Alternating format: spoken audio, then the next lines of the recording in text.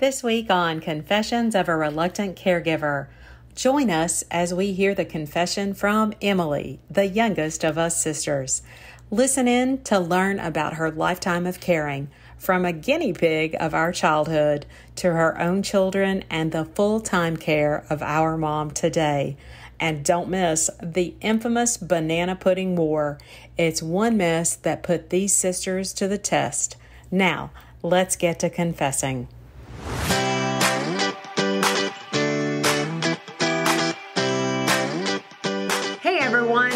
Welcome to the Confessions of a Reluctant Caregiver podcast. We're happy you're here. On the podcast, we're certain that you'll relate to the caregiver stories and find comfort with your honorary sisters. Now, before we start, I want to remind you to go to our website, confessionsofareluctantcaregiver.com, and sign up for our newsletter. It's full of useful information that you can immediately use. Now, let's learn more about today's guest. We are so excited to again have another very esteemed guest.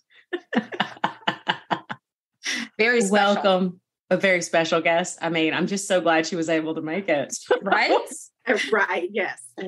welcome, baby sister Emilie. oh, thank Yay, you. baby oh. angel. Like, uh, did you let the cat? Did you let the cat out of the bag, Natalie? That we call her baby angel. Baby angel. Oh, she's the baby angel because oh. and and she's always been called the baby angel. I think oh. it's Jane. Everybody keeps hearing Jane. I think Jane refers that what? it started with Jane that she Jane. calls. Oh, it's baby angel. Oh yeah. I, I mean, mean, it always starts with Jane, doesn't it? Doesn't yeah. it? I know. So Emilie, I mean, yeah you have such a sweet spirit. Watch this as we teaser. Everybody's like, oh, oh, she's so sweet. So everybody that listens to the podcast, this is kind of funny for me. They're like, does Emilie talk? yes. Natalie? Yes. Yeah. It's, so, it's so hard to get a word in with the two type A dominant older sisters. So normally I'm very like a little bit more submissive. I'm an introvert by nature. Mm-hmm. Um, but when I'm ready to talk, then absolutely I will interject. But well, let's really get a word in with those two. why, why does she? Why does she talk about us like that, Natalie? I, I'm I don't understand. I do not know why she. Honest, it's really she hurtful sometimes. No clue. So we uh we're gonna Natalie. We need to be quiet and it's like time try. For Emilie to confess. Uh, so oh, uh, I will. I will. She's confessing today. Let's turn it over to Emilie. Emilie. So I will give a little sweet little story about Emilie though.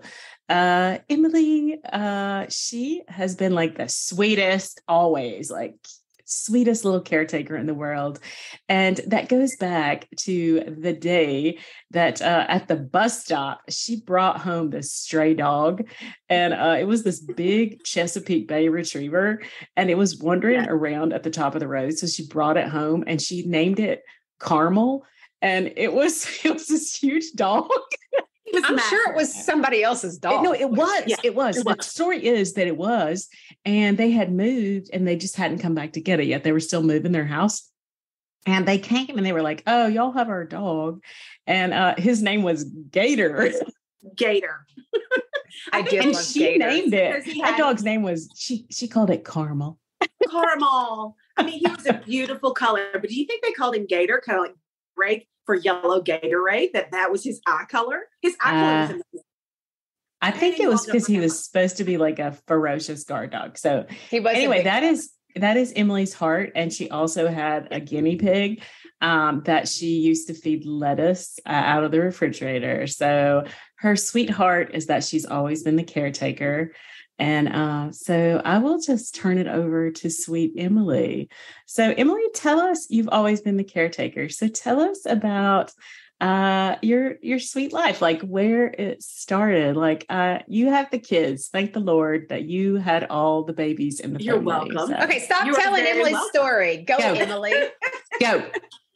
Yeah, you're you're welcome. Um, you know what? Growing up, you all were always taking care of me and that that just kind of come to my, my mind real fast i'm like these two strong women were always leading me in the right direction if you remember Ooh. that so well yeah um, but always, I always had a heart for animals, children. I just, I couldn't wait to grow up. A lot of people have um, careers that they want to do. And it's always like, what do you want to be when you grow up? And how do you tell people like, I want to be a stay-at-home mom. Like I want to have my babies, stay at home with them, nurture them. And I want to be that PTO mom. I want to be that person. I want to have the big minivan. Um, say it. I mean, I spoke it into existence and it did happen. Um, three wonderful children, um, was able to stay home with them uh, many, many years until, like a lot of us, um, went through a divorce. And then I became became the superhero Emilie, the single mom, cape and all. We all yeah. have our own capes. Um, so I, I, we need to bounce back and just talk about those uh, children. Um, yes. There was uh, there was the first. That's uh, Owen, my little heart. And yes. then how many years later did the other ones come? Two years later. Uh-huh. Um, there was how many? There, there was two. They thought it was a, a fibrosis or something crazy, but actually those little fibrosis had little heartbeats. Um, oh. So they were babies. there were multiples?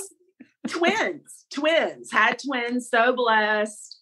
Um, I, I can't, they are my heart. They're my world. As any parent probably feels, they are, they're your everything. They're your purpose. They're your light, life and it's just such a privilege and honor to be able to have them and raise them and experience. I know that y'all are puking over there. No, we're not. I love them. I believe the children are future. I'm going to start singing "We Are the World" and yeah, the greatest love of all from Whitney. Absolutely. So so blessed that I was able to be a stay-at-home mom. Um, so, yeah, but I'm jumping in again. Like while you had all these kids, you had all these kids, like you know. Yeah, you, you had, had, a litter those, of kids. You had you had a gaggle. litter. We're like a little so gaggle of geese coat. You had the gaggle, and you had like a suburban, and then you had like that crazy Honda. Remember, Odyssey. she had the Odyssey. The all those doors that opened. Everything. You also, it was like a spaceship. Yeah, yeah, you also had didn't you have like a home daycare or something on the? Base? Oh yeah, you. I digress. Yes. Um, uh, my ex husband's military, so we lived in New Mexico. Um, and where we lived was was Clovis. It was the armpit of the universe. And I'm looking for jobs. And I'm like, I can't, it, there's nothing really out here. Um, we were what two hours away from Lubbock, Amarillo. Mm-hmm. I mean, we were in the middle of nowhere. Thank you, Air Force. Um, so I, have always had a heart for children. I even did um, a little babysitting when I was younger. Mm-hmm. Just just really enjoyed that. Um, so I decided to open my own daycare. And what's that? What is better than having, you know, working from home, having, uh, I think it was seven or eight kids that I could watch, mm-hmm. and then I could send them home at the end of the day.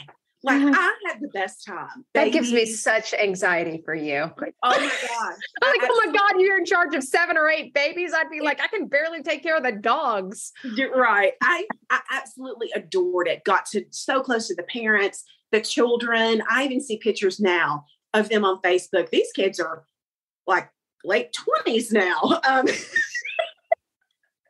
if that makes you think anything, um, yeah. The reason I brought that up is because I remember visiting that house in Clovis. We brought my grandmother out there and there yes. were like barriers to entry. Like there was areas where it was like, you know, I, I, I the house was like a daycare center inside. It, it, it was well, like, it oh was a daycare center. It was licensed. This, yeah, it really it, yeah, it was a daycare center.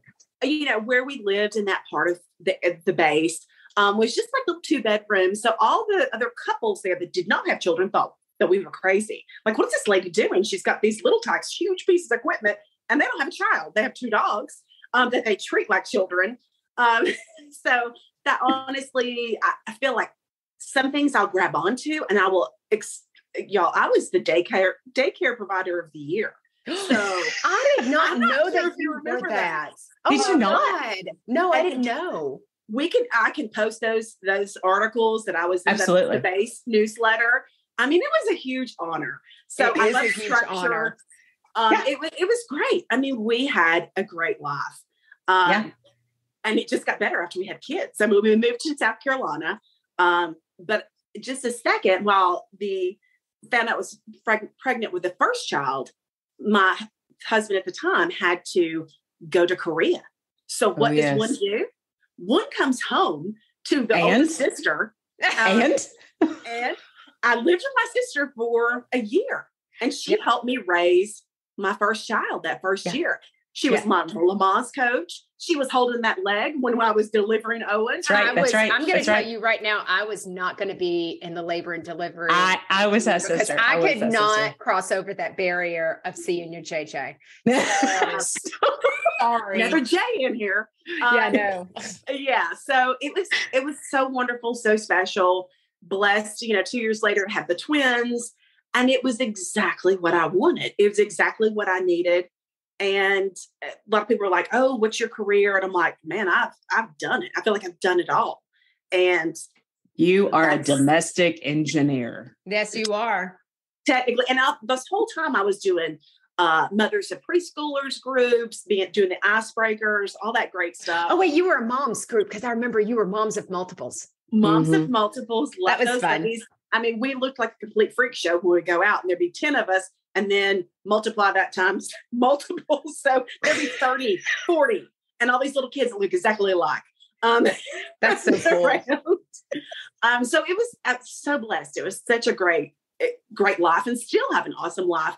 We've just progressed to a different, a different time after those those kids left the nest. I mean, that was absolutely now they're now they're cool though. I mean, they come oh, back. Oh, they're so know. much fun. They're in their twenties yeah. now. I mean, yeah. well, nineteen and twenty one, and so so. Yeah. But so you ended up just to kind of say this. You ended up getting yes. divorced, and then you moved back to Tennessee, and you worked in government. I mean, that's in your bio on your on our website where you worked yes. in government. But that was like not that well honestly you took care of all the customers because you worked oh, at the clerk's office and you took mm-hmm. and you had so many relationships so that was awesome so but then what happened because somehow you got into a caregiver role like you got back into it the kids were older mm-hmm. made some changes in your life you came to me and helped me with when Jason got cancer, you moved to my house. Like I said, I don't know what I'm going to do and what did you do? Oh, I, absolutely. I even said, I think I even said, like, do you want me to come to New, New York with me? Like, I could be the dog nanny. And so you, he would still have that support, but you're like, no, I think that might be a little much. Uh, so I, I seriously, people, two months of nothing but complete love from a little beagle and an English bulldog. And I mean, it's the best therapy anybody could ever get, the best vacation. and Natalie and Jason have a beautiful home, so welcoming. Um, I did break a few things. Sorry, Jason. Um, did break a couple of things. I did. I did. And I'm I did not want to lie. tell him. yeah. Sorry, Jason. Love you. Um, but I mean, that's me. I'm always a little, you know, I'm not sure if you kind of know this. I don't know if it's in my bio, but I'm very tall. I'm six foot one. Yeah. And so it's alarming. And then on top of that, I have this, you know, crazy red hair. So it is, it's quite a, a feature when we go out places. And, you know, I've got my little mom that's like five foot five, even though she says she's five foot five and a half at every doctor appointment. Um, so we're quite a little duo going out. Um, so, so having uh, the great, great time at Natalie's, and I'm like, okay, this this has to come to an end. What am I going to do next? But you know, so so hold on. So you jumped. You know, you you you've got the kids, of course, and they've come out of the nest. But a little bit before that, because we kind of skipped over, there's a portion in there about Connie. And oh, many of you oh, know oh, that, true. that we we refer to mom as Connie. Connie. So yes. Emilie is the one that's back in Tennessee. And that's right. where, you know, everybody knows that we're from. Yes, and so exactly. that's where Connie is mom. And yes. um, so Emilie's the one there, and she's got the kids and she's raising the kids. But now my dad passed away in mm-hmm. 2011. And so Emilie is there. Uh, the kids are, gosh, 10 and nine, I think. Yeah, 10 and nine. And um, so Emilie's got uh, a 10, a, uh, yeah, a 10 year old and uh, two, oh, yeah, 10 year old, two. I think they were like nine. eight and six. Were they? Yeah. Yeah. Uh, yeah. Okay. No, that, that is yeah. right.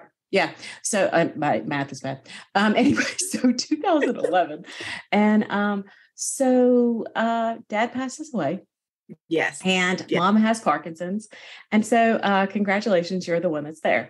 And so she is, she's still functioning. She's having oh, some trouble. Yeah.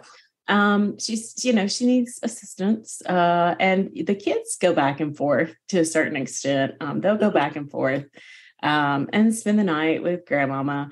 Mm-hmm. But you're there, and mom needs uh, sometimes she calls. Well, let's let's hold on a second. Let's talk about the evolution of your caregiver journey with mom because I think that's where we start. Yeah. So exactly that. So you're a mom to the kids because the kids are mm-hmm. aging right as we go. The kids are aging and you're working full time. Right. And mom is living in an apartment and so let's talk about how it evolved into as to kind of where we've gotten now. Cause I think a lot of people experience yeah. that. So let's right. go there. Let's go there. Yeah. Cause you're, so, yeah. Yeah. So working full time after dad passed away, of course I stepped up um, and would check on her. We would go by there daily, honestly. The kids lived very, we, mom lived very close to their school. So they would go there after school. Um, and they would help out spend the night with her. I mean, we were always there. Not only were we there for her, but she was there for us too. Mm-hmm. Yeah. Um, and that's sometimes as a caregiver, I have to remember separate that that's my mom. That's my mom. I'm there to help her compared to like, you know, let me clean, cook, do all these other things. So yeah, we were there and got to spend, the kids got to spend great years with her. Um, just enjoyed it. So helped her. And then when the kids were getting older, then I felt like, okay, what's my next journey? What's my next thing? Do you um, think that you felt like a caregiver at that time to mom? No, absolutely not. That's important because most people don't recognize themselves as caregivers. And right. I know I didn't. So I I don't hear you because you're going to use caregiver differently as we move along in the journey. Right. Mm-hmm. Okay. So you were still like helping her a little bit, like you yeah. would drop in, and I know you take like food occasionally. You guys would go out and eat or things yeah. like that, but she was still mobile. She was still driving. Yeah, yeah. She was only five minutes from where I work, so I would get those phone calls during the day. I need you to come here now, and I'm like, okay, well, I'm the only one in the office, and I do it. um, yeah so you at some point you moved at some point yes. during that during her illness. Yeah yeah. Um, moved in 2019 to be with my awesome middle sister um, and her husband for a little bit and then d- decided took a job opportunity in indiana. Yep. And that was coming to a close and then i get the call from natalie like and you hey, raised your hand. I'm in. Pick I me. I gotta I, I i you know beyond my children, the pups are pretty close after. Um, Thank you. They love you. Yes, I'm well referenced as Aunt Emmy. Um, and so there's such great therapy. I find a lot of calmness and peaceful in animals um, rather than humans at times. So it is great. So. We had already, you know, during that time, we had been dealing with mom because after you had moved, mom had had uh, the medical crisis mm-hmm. in 2019. Yes. So we had moved her. Um, she had actually lived in North Carolina. And then we had moved her to uh, South Carolina, uh, to, I'm sorry, to North Carolina, uh, goodness gracious, Tennessee. Tennessee. and uh, so during that, we also had uh, Natalie had hit her crisis, and so and that's when uh, Emilie went to Virginia to help with the dogs, and mm-hmm. then is that where you're jumping to? Yeah. And then okay. so mom's in her third facility because you guys moved mom into her third facility right after your wedding, if you remember, in yes. March of last year. Because right. JJ happened to get married while right. during a crisis. Ooh. That was interesting. She very generously switched up her wedding so we could attend. And yeah. um, but so you guys moved mom into another assisted living facility. And we'll talk about kind of our journey with mom and how that as the 3 of mm-hmm. us a little later and um in a different probably episode but this really is emilie and how right. you felt and so mom we get the call we're talking i'm in new york and we get the call and we're like we know we're going to have to move mom so yeah. that was in june and we were talking like she'd only been placed at the newest facility in april and mm-hmm. um that was concerning but emilie had she had helped me move her Emilie helped move that, everything. That van. move now, I can't take credit because when you all moved her out of the apartment in Tennessee to her first facility, right? Um, I was a no show completely. Yeah. That's okay. Well, you but know, you what? had already okay. you had just met me in April to move her once, and so Emilie, I guess that call when we said, "Oh, we have to move her again." Emilie, Emilie says, what were you thinking? we knew that we had, you know, we had to move her. So Emilie, we say we have to move her, and the best option is to move her into a home environment. So Emilie, what were you thinking? I, I think it was essentially we either move her to skilled nursing, which I, I felt like she was nowhere near ready for, or one of us is going to have to stand up and, and do this and take this. And I, I love you guys, but I'm like, nope, I don't think they can do this. and so I really I prayed about it um, every day, kept in my good routine, you know, get up, exercise, listen to Joel, you have my time with God. And that's when I really was like, guys, I just need to really pray about this and see where he wants me to go. Cause I was pretty much ready to, you know, hit the road, be a traveling house sitter and go live my best life. Um, yeah. So that's when I was like, okay, this is where God wants me to be. I might want to do other right. things, but I have to listen to his call and where I should be. And that's exactly what I did. And then everything just, I, I don't know if you remember, Jay, everything kind of fell into place. Right. Like it just, just fell into place. We found a home. Um, and it just it fell into place. But those we finally did get moved. Um, and those first three months, holy cannoli, um, boot camp. I mean, I've lived, you know, a slight little military life with a uh, the husband at the time, but um, it was it was intense. And I remember calling all being like, I don't think I can do this. I need help. I need help. I think I, and I'm somebody that kind of internalizes and said, I don't need help. I can do this all by myself. But like when we got here, I'm like, raising my hand. I need help. Um, so what do you think? So, so here's the other thing. I think there was this thought that it would get better because we need to acknowledge, and we do, we talk about in others, our mom is very difficult. Yes. Um, she is very her Parkinson's uh, medication also has some side effects that make it more where she's very dependent on her meds and she's very it's almost like you're addicted to the dopamine because that's how mm-hmm. you're treating Parkinson's to try to help with the symptoms. But she, she was also quite the spirit beforehand. This is our nice way of saying it because we'll never, you know, we we always want to be respectful. But right she's she was difficult and she got asked to leave out of all three of the facilities and um, when she didn't get the meds and this is again a parkinson's issue she could become aggressive yeah yeah and, and so that was yeah. a problem so mm-hmm. You this is the thing we thought she would get better in a home oh, situation, yeah. which was the why behind why we moved her back into right. the home yes. setting. So, Emilie, exactly. you get in. So it's August 1st, picture at Sicily, 1932 she is going from assisted living to this great condo oh, kitchen she has full access to her her own bathroom community.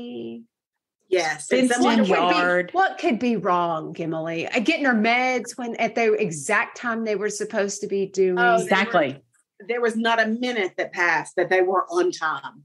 Um, I had a I had alarms set on my cell phone, my little Fitbit. I mean, I had alarms everywhere she had to take meds every two hours, um, and still dealing with the up and down cycling of you know craving the medicine, etc. Right. So that's when we decided that another big reason so the, she could do the pump, but she had to have someone there to help with the pump. Right. So then we, we took that journey of um, having the stoma put in, and the pump essentially dispenses the medication, uh, the carb, her Parkinson's meds, automatically into her intestine. So there's no wait time. It's easy. It's not every two hours. It's only three times a day that she takes meds.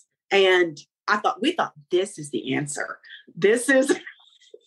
this is going to make this is going to make our life so much easier and it was we thought it would happen immediately. No, it it took a few months. And we're still in the process of getting regulated with this medication. And I got to say, yes, it's a hundred times better. Um, but it, everything has its downfalls, and she's still very independent. Um, Nellie, I think this is where you get your high maintenance from. Um, but she's very high maintenance. Um, that I mean, she's always been like that. Yeah. So that didn't surprise me.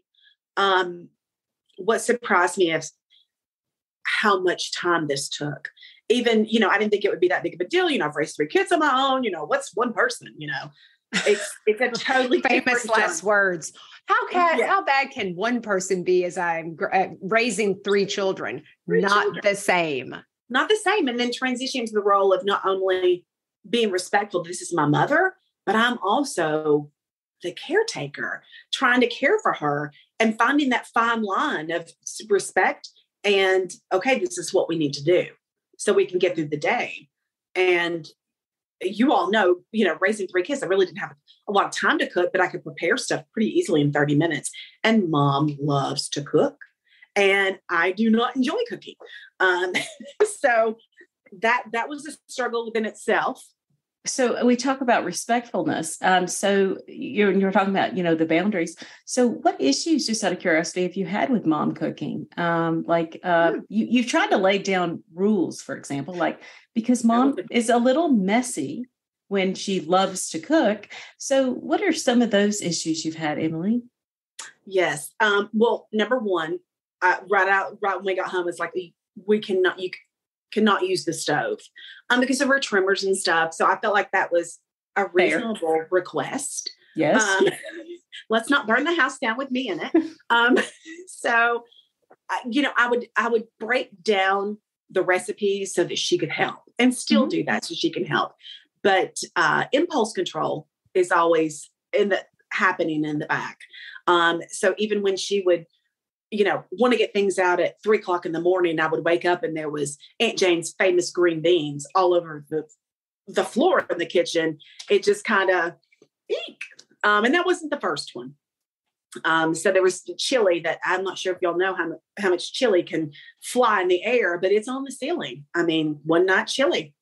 Um, she sneaks up and she gets up into the middle of the night. So this is the thing that I think is interesting is the role reversal because yes. ultimately you're put in the role of almost being the parent because mm-hmm. when mom doesn't get her way, she almost reverts to childlike behavior yes, and you absolutely. end up having to give instructions like a child not because she's not smart but because she she really struggles with wanting to have her own independence and but you're putting in rules for safety. Yeah. and that's a hard transition. I think any of you guys who have listening who have had aging parents and having to have that role reversal where you're telling like it was hard for us to tell mom that she couldn't drive anymore. Right. Hard for us to say you don't have control of your money anymore because trust me if she had control of her money she would make it one day and so she doesn't understand an, an inflation recently. She doesn't understand how much milk cost. And she wanted to make the infamous banana pudding incident. So why don't we talk about the infamous banana pudding incident? This was a, a, definite point, even between the three of us. I mean, right. I just simply sent a text and said, "Hey guys, I just need the banana recipe, a banana pudding recipe." And then I, I had it. AJ had it and was holding it hostage. Yeah, like it, there was a hostage situation. So the, the question was, can I have it? And I actually was sick. I, I was sick on the couch.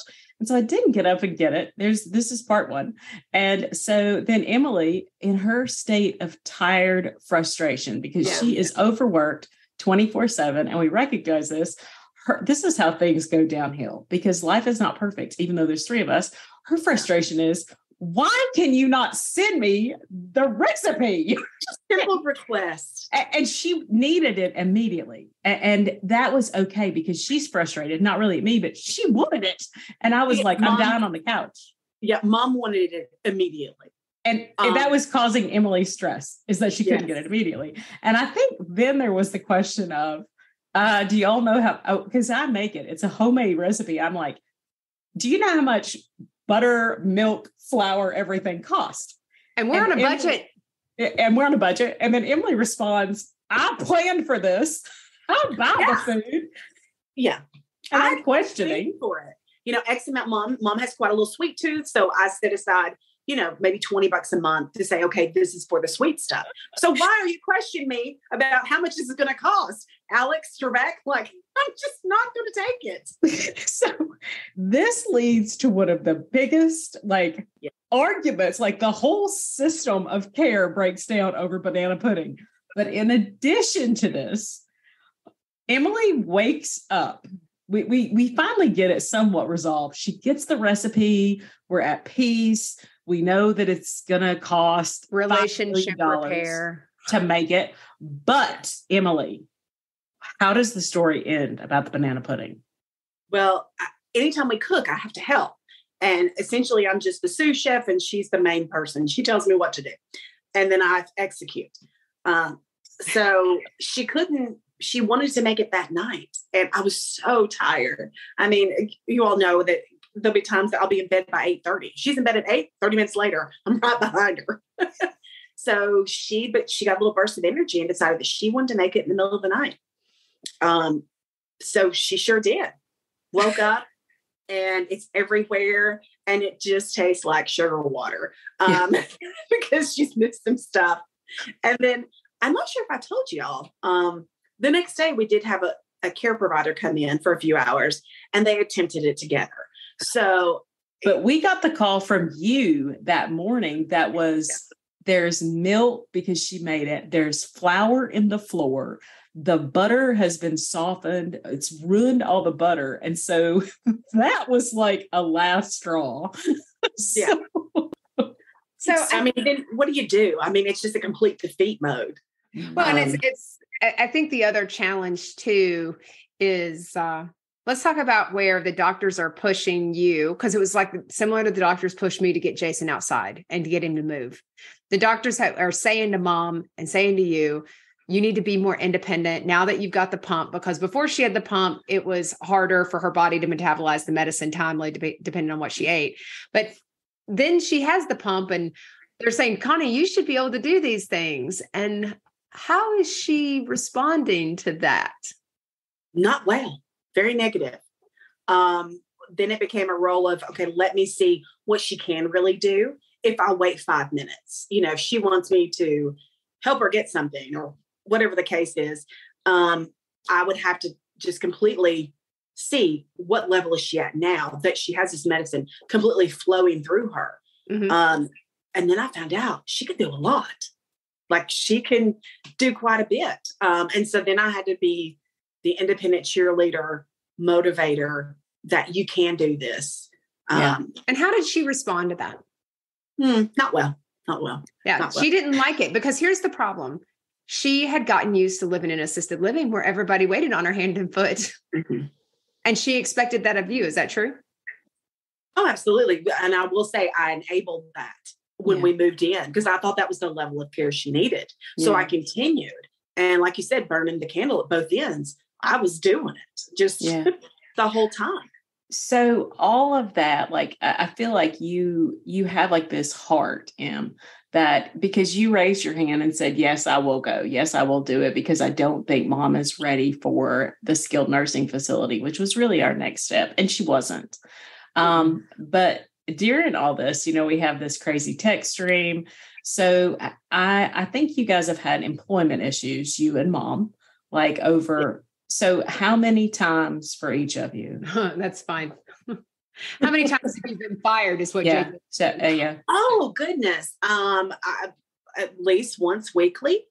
So I'm you you fired. fire her, or how's that work? Oh no, she fires me at least once weekly. Okay, and then I I get I usually hit a breaking point once a month. Okay, that I'm like I, I send that text out, guys. I'm done. I'm out of here. Yeah. Get here. Um, it's true. She does. Yeah. And I we try to we try to mitigate and come back and we do the same love and like, okay, what can we do? How do we support? Yeah. But yeah, so I think that's hard. I think I think that's the biggest thing. So I, I'm just kind of thinking, um, so what is what is the biggest thing that you learned? You've learned from this because you're still in the middle of it. You're like totally yeah. you're there is no end to this journey yet so you're yeah. like living it every day so how do you kind of what's the thing that you didn't expect and how are you getting through it? I didn't expect this would be 24 7. I didn't expect. I thought that I would, you know, we had plans that I would work from home. I mean, that was that was so exciting. I'm like, yes, I can work from home. And um, no, there's no working from home. This is a beyond full-time job. Um, so I, I didn't expect that. Mm-hmm. Um, and I didn't expect when we finally did get income in here, uh, excuse me, in home care, um, that they wouldn't show up. That mm-hmm. when they did show up, it was sometimes a little scary. There were some awesome ones uh, though, and we still have some great ones that come in and help. Um, but there's only so many hours in a day that they can help, and then I'm yeah. responsible for the rest. And when do I get a break? When is there Emilie time? Yeah. Um, that's what I struggled with. Was okay, where am I in all this? Because I'm losing myself completely.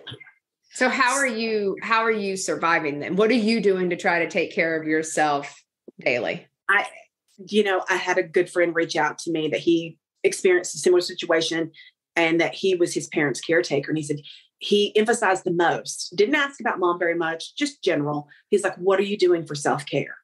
And I'm like, well, well, what do you mean? I don't have time for self care. You know, being a mom, that you don't have a lot of time for yourself. So I kind of, you know, thought that was how it was going to be this, this way also. But I finally realized, okay, I, have got to exercise daily. That's the best thing to get mm. all this anxiety and stress out. Um, I intentionally, I have to stay on a routine and take time for myself. And that might seem, as we all think, selfish at times, but it it's not like a husband role or spouse role kind of situation. Mm-hmm. This is my mom. So how do I take care of her the best? I've got to take care of myself first. Yeah. You know, I mean, that's all we ever heard, you know, raising raising kids and stuff. Every parent was like, What are you doing for yourself? What are your hobbies? And I'm like, what do you mean what a hobby? I've got three kids. I don't have time for hobbies. Um, but this kind of kind of step back for a second and realize, okay, this is my mom. She had a, an awesome life and continues to have a very successful life, you know, at home, going to the daily living center. Like I've got her in everything, feels like. Um, but what am I doing for myself? And so that's when I really had to step up and say, this is not selfish. This is a necessity that I must um, exercise, eat healthy, like really go inward of like, what yeah. can I do to make myself still be great, a great caretaker and a great person within myself. So it was intentionally taking time for myself. Yeah. yeah. So, and I'll ask because it's always like, okay, what's the confession? Um, when you don't do those things though like when we start getting those calls like mentally and emotionally like you drain though like your bucket gets empty like it's been dumped yeah like you're like done it's it gets dumped and it's like recently i've not been taking time for myself doing my devotion exercising eating healthy and so you know i hit a brick wall last week completely yeah. you yeah. know that once a month like hey guys i'm out of here um, yeah. that was Jesus notice. take the wheel for us. Yeah. You gave notice. Yeah. We got yeah. it. Um, but I've, I've not been taking care of myself. And that's when I completely hit the wall. I can have meltdowns that my body starts reacting, I'm getting sick more often. Mm-hmm. Um, it just doesn't handle stress well. I think that's with all of us though. Yeah. So now I have to be, you know, really get back on track. And I know it's the first of the year and I had all these great expectations and goals that I'm going to do. And then it's like fell, fell flat on my face, you know, last week. Um, yeah. So now we're recovering and coming out the other side. Um, and it's, it, it's, it's going to get better. Yeah. It's got, it, has to. So I, well, we talked to other people before, and it's just something that's interesting, and I'll get your take on it they've talked about people when they've had children and you look at your children and they're born and then mm-hmm. they turn 18 and hopefully to god they move on you know sometimes they stay but like dad said he broke our plate and we were gone he wasn't feeding us or anything it's true yeah but you you signed up and um at some point you had to say okay we know that mom's Parkinson's, she can live with it. But to a certain extent, mom's next step it, it's a terminal type. There's no cure for Parkinson's. Right. And mom is aging and she is aging in place. And so, you know, you're just a very young pup at 44. Um, right. what do you, I mean, we, this is our pain. Like Natalie and I, this is our pain. um, where we say, Is Emilie giving up her life? And there's a lot mm-hmm. of caretakers out there. We say, and so this is our therapy session because we worry about you constantly. So, what's your like thought? Like, where are you? Like, where's your head? Like, are you, what's your dream? Like, what's your next goal? Like, what's your step? Are you living with Connie forever? I mean, I don't know what JJ's trying to ask. She's just over here just chatting I, away. Know, she's alluding to something. I always say to everyone that I come across that I just want to live my best life, whatever that looks like for each individual. Like I have these dreams that I want to travel and go and see adventurous places. I don't care how much money I make. I could care less. Um, I just want the experiences because you never know when you're when you could get that diagnosis of you cannot travel anymore, of you can't leave the house. Are and, you taking mom with you? I mean, we've talked about that, but I think it will work. we've not uh, gone on like a field trip or anything overnight yet. Just, um, I was just checking. Yeah. So, like I said, we had a wall last week, and I'm mm. like, guys, what do I do? You know, I'm mm. out of here, and I'm like, okay, well, if I'm out of here, what are the steps we need to do? So mm. Friday was a very adventurous day. Um, we went and looked at skilled nursing, a few assisted livings, and it just it was a huge wake up call. Like again, the guilt starts seeping in, and just mm, and I'm thinking, God, is she ready for this? Like, how can I be so selfish? And I know that's not something that we're looking forward to in the future, but it was an eye opener. Like, this is we need to be prepared. So when yeah. this does happen, then we're going to have to see. Um, right. So Friday, we just kind of digested it and looked around, and it was honestly, we had the best day. Um, talking to people, looking at different locations. Um, again, the guilt, like she's not ready for that, or it, can she live in assisted living? Um, so at, at this point, we're just kind of at a, a stopping kind of point, saying, okay, what do we do next? And what I always think is, okay, tomorrow's a new day. We're just going to take a deep breath and we're going to just absorb this and say, okay, this is, we've done everything we possibly can do. And let's just start fresh tomorrow. And we'll figure that out tomorrow. Yeah. Well, I think, and you're, we're, and for all of us, I think we're planning for tomorrow because that's the biggest thing in our past is that we had no plan in. Yeah. And no uh, we always thought that mom was going to age in place with dad. And mm-hmm as much as we don't want to have to move mom, um, we had no plan before. And if we're visiting, she's never made the decision on where she went. We've always just had to place her. And we're at least being proactive. And she's as smart as a cookie. You know, she's a smart oh, yes. And um, for her to be able to have some control and what her next steps are is right. is a big thing for her. And um, so at least we have a plan. And that's I think that's important for everybody. Yeah, the first step is to have a plan. Plan yeah. for risk because at some point we know in the near future we're going to have to move her. And the thing is is no matter no matter how much we don't want that, we also have to be real about it. And yeah. and and we have to not feel guilty because are if mom is in a nursing home, if mom is in assisted living. I, I, mean, honestly, I don't know how she'll go back into an assisted living considering it was so poor the last three times. But um, because assisted living facilities don't allow her to use the the pump, which is that gives her meds. And so mm-hmm. it's we're in this really hard place that, you know, do we take something that she's now kind of gotten used to and uh and go back to 15 to 20 pills a day and fighting with nurses that don't give it on time. And it's not because they don't want to, it's because they are serving so many people. This is a system issue, if you think about it. We're put into a place where mom really would actually benefit better, pro- probably from assisted living because of the socialization piece of it, having all the people around her and they go out on field trips. That's why I love assisted living. I told Jason, I'm like, sign us up. Like he turned 55 and I was like, I'm in, uh, get us in on the assisted living community. We're in there. And so he's like, Natalie, and I'm like, what? I'll be the prettiest, youngest one at least. But I think that's the hard part. And mm.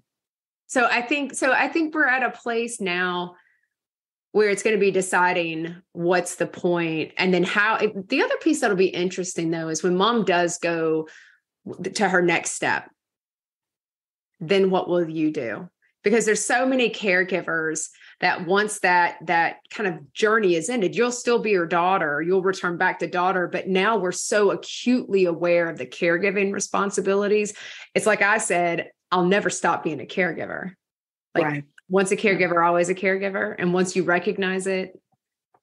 So I think, you know, it'll be what do you do after? How will you feel about that? Will you feel grief and a loss? Will you feel guilt?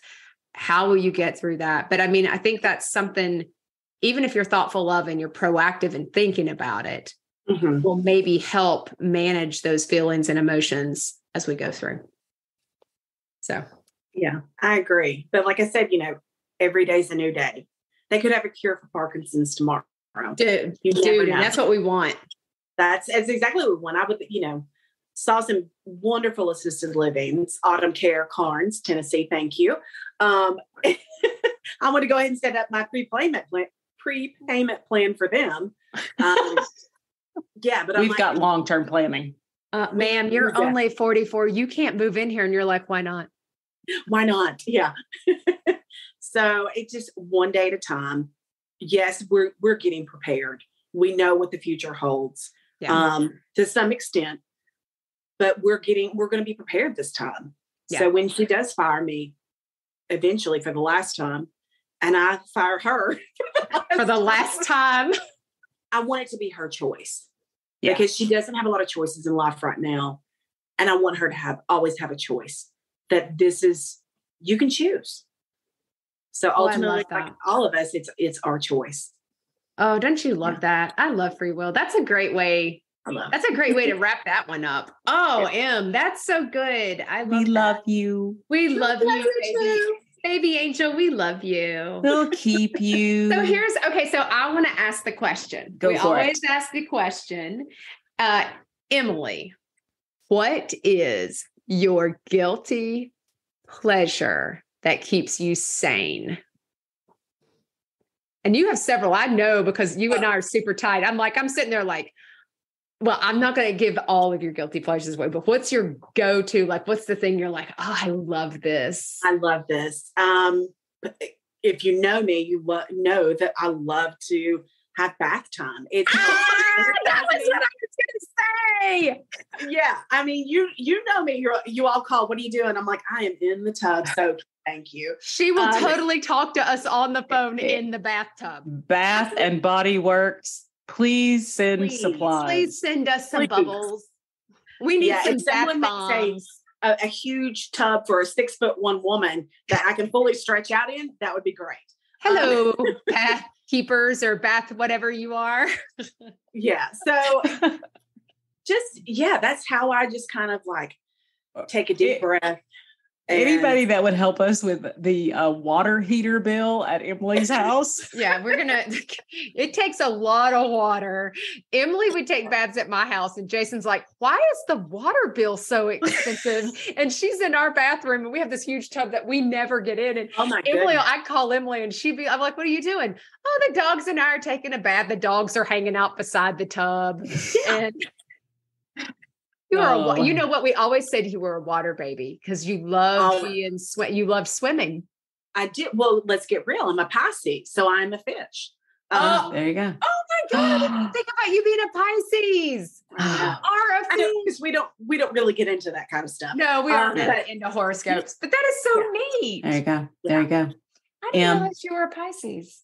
Yeah. Um, Am she's the perfect. She's the perfect angel baby. She is the baby angel. She's perfect. oh, all right. Well, well, thanks everybody. Thank you, Emilie, for sharing your story because I think it's so important because it's a different perspective.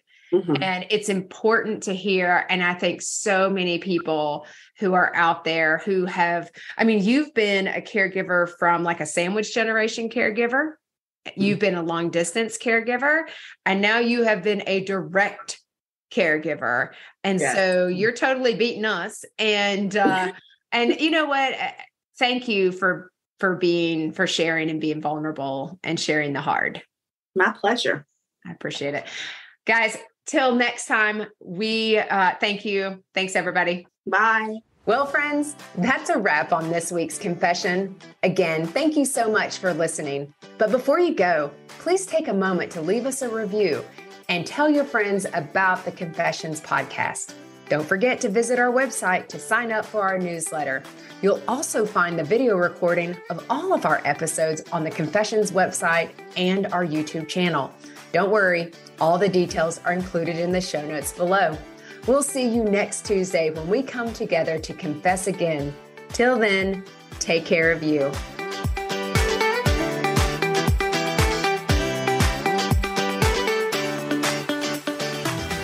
Okay, let's talk disclaimers. You may be surprised to find out, but we are not medical professionals and are not providing any medical advice. If you have any medical questions, we recommend that you talk with a medical professional of your choice. As always, my sisters and I at Confessions of a Reluctant Caregiver have taken care in selecting the speakers, but the opinions of our speakers are theirs alone. The views and opinions stated in this podcast are solely those of the contributors and not necessarily those of our distributors or hosting company. This podcast is copyrighted and no part can be reproduced without the expressed written consent of the Sisterhood of Care LLC.